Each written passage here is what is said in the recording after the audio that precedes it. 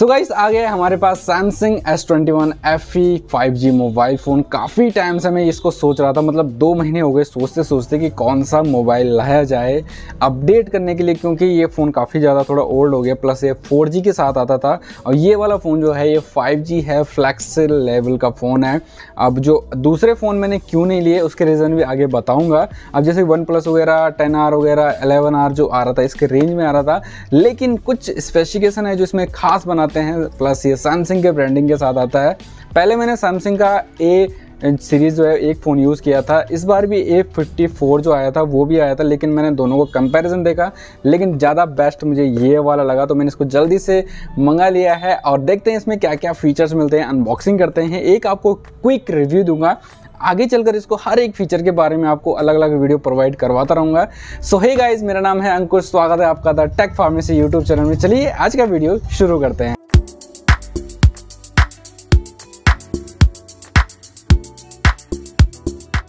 So guys ये है हमारा Samsung Galaxy S twenty one F E फार फाइव जी इस तरीके से आ जाता है। इसमें कुछ आपको स्पेसिफिकेशन मिल जाते हैं। ये मेरा जो वेरिएंट है eight G B one twenty eight G B मिलता है। आ, इससे ऊपर वाला वेरिएंट नहीं था तो वो नहीं तो मैं वही मंगाता साइड की तरफ़ सैमसंग की ब्रांडिंग है ऊपर कुछ नहीं है पीछे की तरफ़ कुछ इसके बारे में आपको जानकारी मिल जाएगी। ज़्यादा कुछ इसमें दिखाने लायक नहीं है क्योंकि बॉक्स बहुत ज़्यादा छोटा हो चुका है और इसमें चार्जर आपको अलग से लेना पड़ेगा। तो इसको खोलते हैं फटाफट से। वैसे मैंने एक बार खोल चुका हूँ, लेकिन आपको दिखाने के लिए दोबारा से इसको सिंपल सा यहाँ से इस तरीके से खोलेंगे। सबसे पहले आपको फ़ोन ही ऊपर दिखाई देता है, इस तरीके से पैक पड़ा हुआ है। ये मैंने वाइट कलर में मंगाया है, जो काफ़ी ज़्यादा मुझे मस्त लग रहा है, एकदम कमाल का लग रहा है, जिसके बारे में आगे बात करते हैं।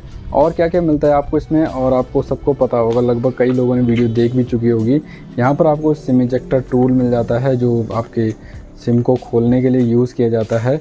एंड यहाँ पर मिलता है आपको type C two size cable मिल जाती है, जिसको आपको चार्जर जो है इसका लगभग 1500 से 1200 रुपए का मिल जाता है और सेल में थोड़ा बहुत कम में मिल ही जाता है। बाकी इसमें कुछ भी नहीं है, बाकी हटाते हैं साइड को। फ़ोन को लाते हैं, देखिए कितना प्रीमियम फ़ोन लग रहा है, जो लोग कह रहे थे यार इतना अच्छा नहीं है, लेकिन मुझे तो काफ़ी ज़्यादा वेल लगा, बहुत ही कमाल का लगा मुझे। एंड यहाँ से इसको ब्रेक करते हैं। और इस तरीके से जो है फ़ोन सामने आ जाता है। नीचे की तरफ़ आपको टाइप सी केबल मिल जाती है जो चार्जिंग के लिए होता है और यहाँ पर सिम को के लिए मिल जाएगा, एक स्पीकर यहाँ मिल जाएगा, एक स्पीकर यहाँ मिल जाएगा। डबल स्टीरियो स्पीकर मिल जाता है साइड की तरफ़, वॉल्यूम अप डाउन करने के लिए एंड लॉक अनलॉक बटन। और जो यहाँ पर आप देख रहे होंगे, इसका पीछे का कैमरा का मॉड्यूल जो है काफ़ी ज़बरदस्त है।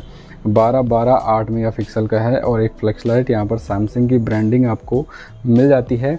इसमें जो अच्छी बात लगी मुझे वो है एल्यूमिनियम बॉडी जो थोड़ा बोलते हैं लोग हीट होता है, लेकिन कोई इशू नहीं है। भैया, अगर आपको चाहिए वो सामने तरफ़ लगा है, बत्तीस मेगा का सेल्फी कैमरा आपको एक बार सिम इजेक्टर खोल के दिखाते हैं। यहाँ पर आपको डबल सिम का सपोर्ट मिलेगा। आप डबल सिम लगा सकते हैं, लेकिन एक्सपेंडेबल का नहीं मिलेगा, जो थोड़ा मुझे अच्छी बात नहीं लगी, क्योंकि मुझे रिक्वायर्ड होती है, क्योंकि हमें एक कंटेंट क्रिएटर है। यहाँ पर इन्होंने दो होल दे रखे हैं कभी गलती से इसके अंदर घुस गया तो दिक्कत हो जाएगी। ये माइक के लिए है, आपका नॉइज़ रेड्यूशन के लिए एक दो यहाँ पर दे रखा है, जो काफ़ी ज़्यादा सही बात है। सो आगे बात करते हैं इसके बारे में। पहले इसको बूट अप करके देख रहे हैं। मैंने आपको ऑलरेडी इसको सेटअप कर चुका हूँ। और सामने की तरफ़ आपको इसका डिस्प्ले मिल जाता है। इस तरीके से जो 2x सुपर एमुलेट डिस्प्ले के साथ आ जाता है एंड 120 ट्वेंटी का रिफ्रेश रेट आ जाता है, जो काफ़ी सही है। कोई भी इशू मुझे नहीं लग रहा है। अभी भी बिल्कुल टच एकदम। सबको पता है कि डिस्प्ले जो होती है सैमसंग की काफ़ी ज़्यादा कमाल की होती है। एंड 32 मेगापिक्सल का सामने दिखने को मिल रहा है आपको। चार्जर की बात भी कर लेते हैं। ये मैंने ऑलरेडी मंगा लिया था सुपर फास्ट चार्जिंग 25 वोट का है टाइप सी टू सी थोड़ा बहुत आज के समय में देखने को मिल रहा है तो बहुत कम है, लेकिन कोई भी ऐसा फ़ोन है जो 40 पचास, साठ हज़ार रुपये के रेंज में आ रहा है, उसमें लगभग इतनी मिल रही जैसे गूगल पिक्सल का एंड आपका आईफोन के साथ भी 20 मेगा 20 वोट का चार्जर ही आता है, जो चलते चार्ज थोड़ा स्लो करते हैं, लेकिन एक डेढ़ घंटे में आपका फुल चार्ज होता है, वो हो जाता है, लेकिन चलते काफ़ी सही है। रैम इसकी आठ G B plus one twenty eight G B की स्टोरेज में है, ये मैंने मंगा रखा है। एंड बत, जैसे मैंने बताया है, बारह बारह आठ मेगा पिक्सल का इसमें camera plus O I S इसमें दिया गया है। 6.4 इंचज़ की डायनेमिक एमुलेट 2x डिस्प्ले दी गई है। मतलब एक 4 के डिस्प्ले है ये। आप कर सकते हैं। एंड पैंतालीस सौ एम का इसमें बैटरी जो होता है, वो दिया गया है। प्रोसेसर जो है एक्जनोस 21 दिया गया है, जो इसमें स्नैपड्रैगन वगैरह इंडिया में नहीं करते हैं लोग, लेकिन करना चाहिए जो मुझे लगता है। स्नैपड्रैगन कम से कम जेन वन तो आना ही चाहिए था इसमें। बाकी इसमें और ऐसा कुछ है नहीं। बाकी इसमें आपको दिखाता हूँ, ये मैंने मंगाया है, ये यूनिट जो थी, ये अप्रैल की है, और इसमें जो ऑलरेडी आया है, ये आया है एंड्रॉयड 13 के साथ में आया है। एंड्रॉयड 13 के साथ में देखने को मिलता है और वन नंबर टू अपडेट करना पड़ेगा। इसमें तेरह बजाएँगे आप तो इस तरीके से आ जाएगा। एंड प्रेस करके रखोगे तो ये चेंजेस होते रहते हैं।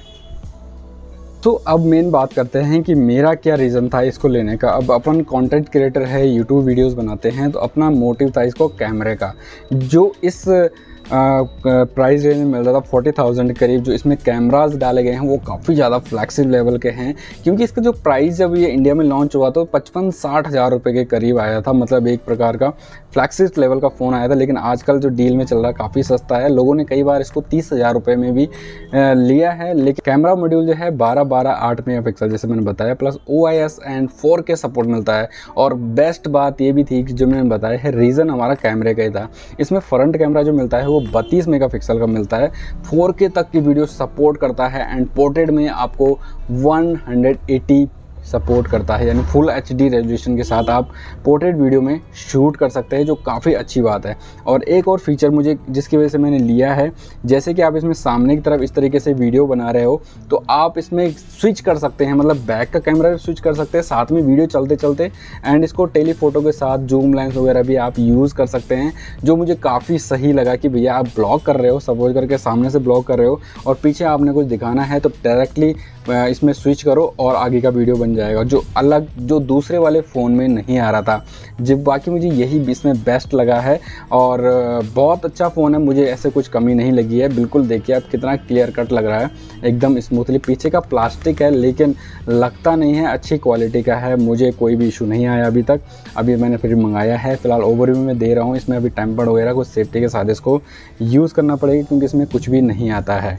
सो so, आगे मैं इसका रिव्यू आपको ज़रूर प्रोवाइड कर दूँगा किस तरीके से है। तो एक बार मैं आपको अपना ब्लॉग टेस्ट दिखा देता हूँ और प्लस कुछ फ़ोटोज़ इसके दिखा देता हूँ सेल्फी से भी एंड बैक से भी। सो so गाइज़ ये जो ब्लॉग शूट हो रहा है, इसके पोर्ट्रेट कैमरा से हो रहा है, देखिए आप कितनी अच्छे से ये फो शकल को अच्छे से कस्टमाइज कर रहा है। प्लस आपको देखिए ब्लॉग में ही अपने, जो चलते चलते वीडियो को आप जो है, अपना बैकग्राउंड का कलर या कुछ ग्लिच वगैरह जो है, वो इसमें चेंजेस कर सकते हैं। ईजीली काफ़ी सही लगा मुझे, लेकिन पोर्ट्रेट में आप जो है, अगला कैमरा जो है, वो स्विच नहीं कर पाएँगे। ये जो ब्लॉग हो रहा है शूट सैमसंग के एस ट्वेंटी वन एफ़ से हो रहा है। देखिए, कितना स्मूथली ब्लॉग कर रहा है। फुल एचडी में ये ब्लॉग शूट हो रहा है एंड काफ़ी ज़्यादा मुझे अच्छा लगा। कोई भी दिक्कत नहीं है मुझे। एंड अब देखिए, मैं ब्लॉग शूट कर रहा हूँ। अब जस्ट मैं इसको हूँ। अब देखिए, आगे का व्यू भी मैं इस तरीके से दिखा सकता हूँ। जैसे कि यहाँ पर ये वीडियो में शूट कर रहा हूँ और ये मेरा मेडिकल है। ये सामने का व्यू आपको मिल जाएगा। यह है इसका डबल रिकॉर्डिंग वाला फीचर जो आप इस तरीके से देख रहे हो। अभी सामने से सनलाइट आ रही है। तो अभी देखिए, पीछे की तरफ़ जाता हूँ तो ठीक ठाक कवर कर रहा है और ये इसका सामने का व्यू दिख रहा है और ये मैं पीछे का डबल कैमरा स्मूड आप इसमें यूज़ कर सकते हैं।